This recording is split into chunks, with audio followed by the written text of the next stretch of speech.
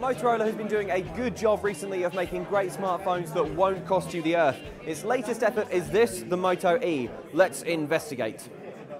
So let's start with the basics, the design. This isn't a smartphone Goliath like the Galaxy Note 3. It's not huge, it's actually quite compact. Uh, it's not the slimmest phone I've ever seen, but it does feel quite nice. It feels quite sturdy. I like these curves around the back. It feels quite nicely designed.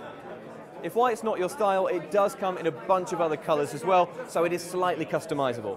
This is a 4.3 inch display. It has a 960 by 540 pixel resolution. Now, that's not especially high. Uh, there are smartphones out there with higher resolutions, but it looks all right to me. I've seen more luxurious screens, but bear in mind that this is quite a cheap phone. I think it'll handle the basics like email, Facebook, uh, just fine. Inside there's a 1.2 gigahertz dual-core processor that's backed up by one gigabyte of RAM. Again, not the most powerful tech specs, but it doesn't feel that slow. Moving around the home screens and surfing around Android, it feels quite slick. Rounding things off is a 5 megapixel camera on the back. Now, as you can probably tell, this isn't the most powerful phone out there, but one thing that is great is that it has the most recent version of Android.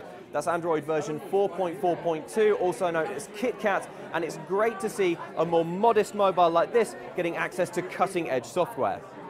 So finally, what about the all-important price? Well, this thing is going to cost around $130 off contract in the US and 89 pounds in the UK. So it is cheap, but is it good value? We'll find out more in the full review, so stay tuned. Check out cnet.com for more. I'm Luke Westaway, and this is the Motorola Moto E.